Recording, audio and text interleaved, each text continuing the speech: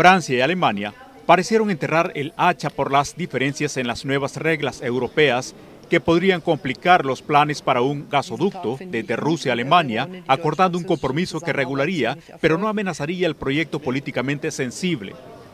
Hablando después de reunirse el viernes con el presidente de Malí, Ibrahim Boubacar Keita, el canciller alemán dijo que el proyecto del gasoducto no habría sucedido de esta manera sin la cooperación germano-francesa.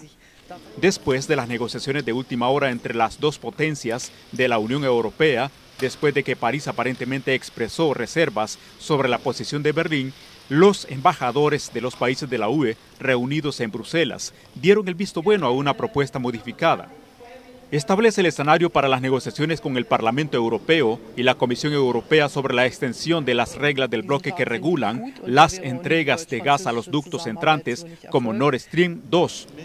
el gasoducto ruso-alemán se está construyendo bajo el Báltico para entregar gas ruso directamente a Alemania para una mayor distribución en toda Europa, aumentando la capacidad de la ruta sobre lo que ya fluye a través del primer gasoducto Nord Stream.